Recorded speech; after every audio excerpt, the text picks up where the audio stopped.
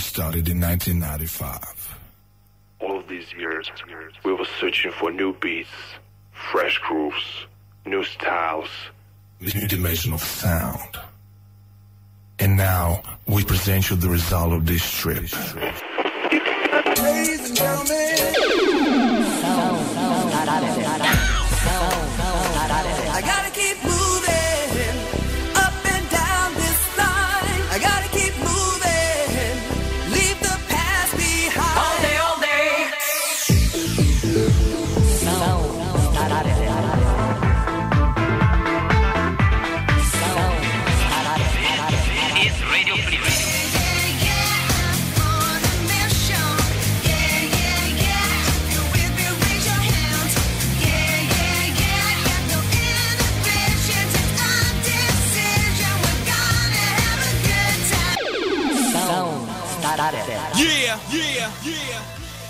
Alane Bog, dobrodošao. Bog tebi, Gorane, evo i svim slušateljima Radio Moslavine. Inače, hvala ti lijepo, e, e, dosta dugo se nismo ovdje vidjeli i čuli, ali prije toga, ono, konstantno svake godine se nešto događalo sa Alanom. e, I sad, odmah te na početku moram pitat, e, gdje si bio, šta si radio, zašto tako duga pauza, šta je bilo? Pa evo, bavio sam se i dalje glazbom i bio sam stalno sa gitarom i pisao sam nove pjesme, ali sam se odlučio jedno vrijeme maknuti iz javnosti, iz estrade. Bio sam se svega malo umorio. No sad sam svježi i spreman za uh, nove pohode po... Uh, nove radne pobjede, kako bi nove se radne pobjede. Ok, evo ga, novi radne pobjede su već i e, počeli sa ženom posredom koju smo čuli na početku. Dakle, e, to je ono full novi single koji je izašao tek prije nekoliko tjedana onako službeno van. Mislim da je bilo dobro na početku da malo ove e, koje nas nisu prije slušali Da. i možda koji su tad bili jako mali. Da. E, pa ih sad zanima zapravo tko to Alan Hržica je i kako je to sve počelo, pa ono, ajmo se baciti u jedan retro lagani džir na samom početku ovog našeg današnjeg druženja. Može. Pa evo ga, ja sam počeo tamo negdje sa svojih 21 godinom, napravio sam prvu pjesmu, otišao sam na Marco Polo festival, uh, osvojio sam tamo bio tu prvu nagradu i već sam dobio nekakav ulaz za Splitski festival. Pošto su Marco Polo festival na Korčuli i Splitski festival bili povezani, imao sam tu sreću da me i Uh, gospodin Zdenko Runjić nazvao osobno da mu se bila sviđala ta pjesma kako bi nam dobro bilo. Snimio sam za nju bio spot uh, sa Lanom Baneli i pjesma je postala hit i jako vrčena pjesma. To je bio poticaj da napravim cijeli album koji sam radio sa Mirom Buljanom. Uh, bila je tu i autorica Antonija Šola, ona je napisala neke pjesme sa mnom. Bog Tonka.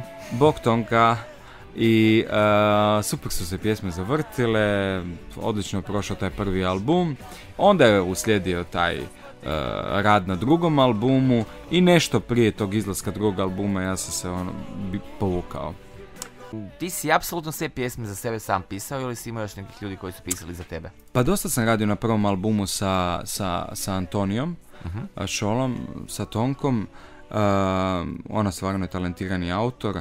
I, ali evo ga, ovo- ovaj drugi album, znaš, nije mi bilo puno vremena pa sam, pa sam napisao dosta pjesama. Tako da će ovaj drugi album uglavnom biti moj autorski. Ali ja sam uvijek otvoren za dobru pjesmu. Čekaj, ovo je sad album uh, koji tek uh, Tako je u najavi, to je tako drugi album, jel To tako? je- to je drugi album, da. E sad, ajmo malo se ono, vratiti u sadašnjost. Mhm. I uh, zapravo mene zanima, vjerujem i sve uh, koji su te prije pratili, uh, uh, kad se može nešto u tom obliku očekivati od tebe, dakle, ono, uokvireno, uobličeno u, znaš, ono, 10-12 pjesama, Pa ja se nadam da bi to moglo biti mm, negdje tamo za 7-8 mjeseci. Da bi to moglo biti, znači, volio bi godine, izbaciti, jel? pa da, volio bi izbaciti barem tri pjesme Mhm. prije nego što izbacim album.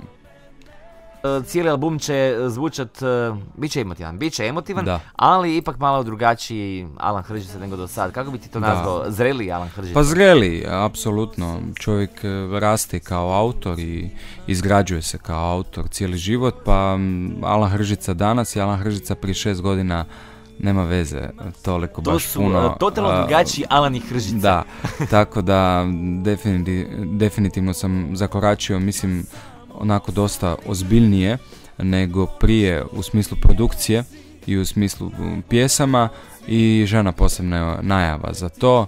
jako vjerujem u tu pjesmu. A, mislim da će ona sa, sa, sa odmakom na onaj, ajmo to nazvat, na duži štap učiniti svoje, jer je pjesma koju, koju- koja, koja se može pustiti za par godina i produkcijski je a, visoko kvalitetna pjesma. Ehm, dakle, e, još jednu stvar sam te htio pitat, e, spomenuo si band. Mhm. Da. Dakle, live band, što znači e, kad negdje nastupaš, isključivo ideš live, dakle, sa bandom, koji bi bilo jako lijepo možda da spomenemo ekipicu koja čini taj band prateći. Pa tako je, e, imam e, Zrinku Hudi na violini, Mhm. E, to, to je onako dosta neobična kombinacija zato što mm, baš sam sve pjesme napravio u ovom e, smislu live svirke e, sa violinom i to zvuči fantastično. Taj solo kad dođe sa violinom, obično inače ljudi to rade, ne znam, na električnoj gitari, kod mene je to slučaj da violina preuzima taj e, dio, tako da super to zvuči. To je neka Imam- fora da onu pjesmu violina, jel? pa ne, ne, ne, ne, nužno, ali, ali evo ga, vi- violina Zrinka Hudi, Zdravko Marković na, na basu, Jan Erceg na bubnjevima i moja malenkost na gitari, to je to. Evo ga, Ja ću te pozdraviti evo, odmah sada. Bog, može, bog, evo. Bogorane. Evo, htio bi sve pozdraviti ovdje u Kutini i šire, o, slušatelji koji slušaju Radio Moslavinu. Alan Hržica bio s vama danas u studiju i slušate pjesmu Žena posebna. Sound starter. Music party.